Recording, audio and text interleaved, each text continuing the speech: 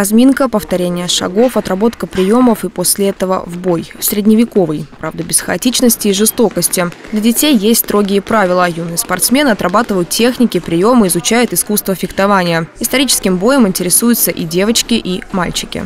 Мне нравится, потому что я всегда хотел научиться драться на мечах. Там, например, э, прыгать на тумбу, бить по балде, спарринги, а физическую подготовку ходить. Мне сказали, что у тебя очень много медалей. Сама не считала, не знаешь сколько. Больше десяти.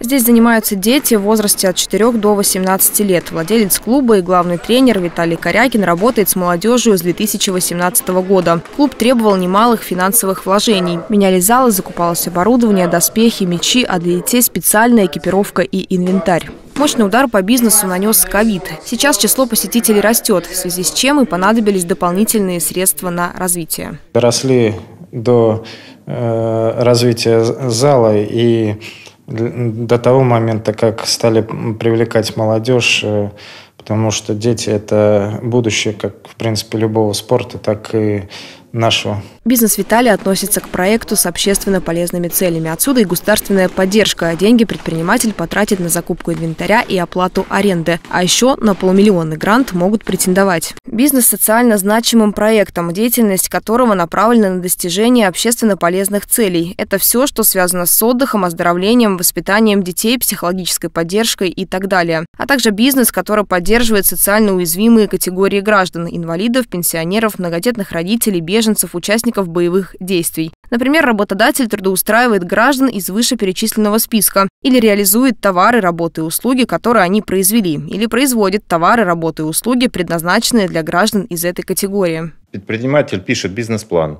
отражает, э, какие значит, э, он хочет возместить расходы.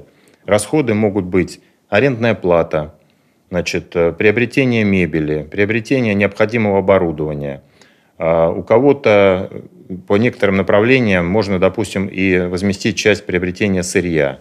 Документы для участия в конкурсе можно подать до 16 октября в Министерство промышленности, торговли и предпринимательства. Об условиях и требованиях там расскажут подробнее. Всего объем поддержки составит порядка 100 миллионов рублей, а это на 20% больше, чем в 2022 году. Юлия Сотникова, Владислав Соболев. События дня.